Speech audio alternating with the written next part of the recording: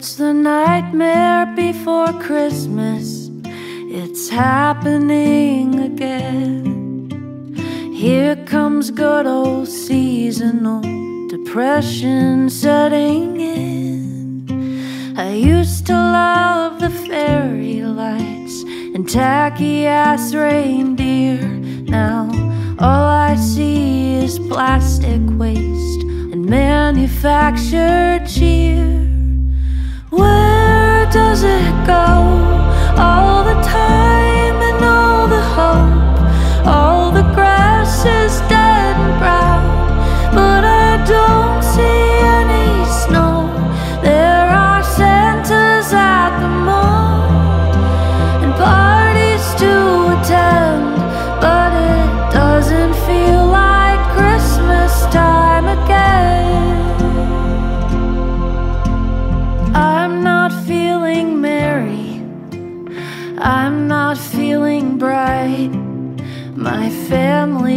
Isn't talking. It's another silent night.